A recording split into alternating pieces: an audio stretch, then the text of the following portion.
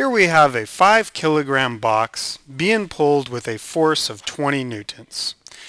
And it's accelerating at 2 meters per second squared. And we want to find the coefficient of friction between the floor and the bottom of the suitcase. Well, since it is accelerating, we know the box is moving, and therefore we are looking for the coefficient of kinetic friction.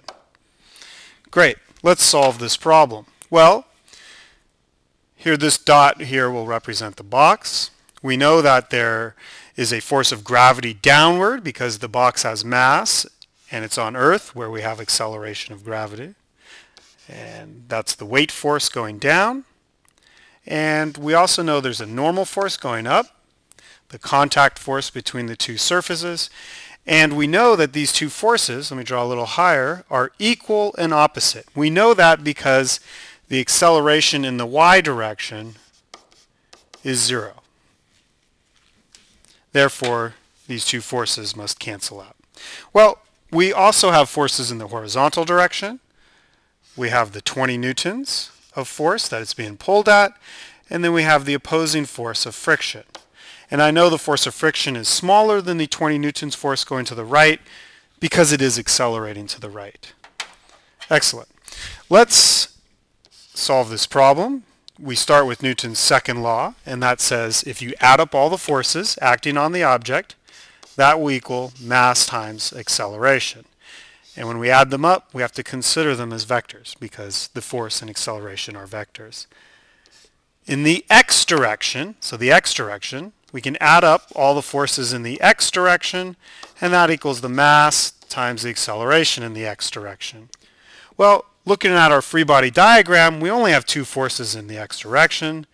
We have the 20 newtons minus the force of friction, and then that equals the mass of the box times its horizontal acceleration. Well, we know the mass of the box and its horizontal acceleration, so let's plug those in. 5 kilograms for the mass, and the acceleration is 2 meters per second squared. Well, 5 times 2 is 10, and a kilogram meter per second squared is a newton. And now, rewriting this line, Let's solve for the force of friction. So minus 10 newtons from both sides.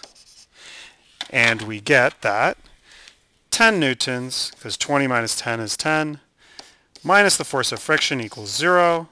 And therefore, we know the force of friction here is 10 newtons. Great.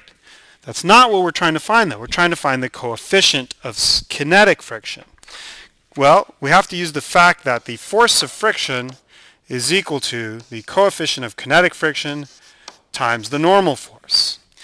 And in this case, the normal force is equal to the weight, as previously discussed, and the weight is the mass times the acceleration of gravity.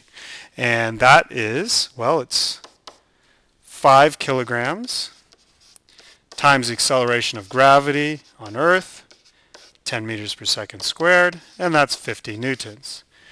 Great.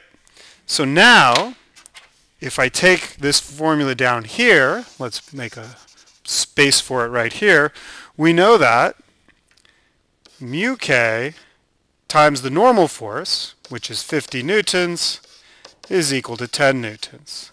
And now all we have to do is divide both sides by 50. And you see these guys cancel, the units cancel here, and 10 divided by 50 is just a fifth, which is 0.2. So the coefficient of kinetic friction is equal to 0.2.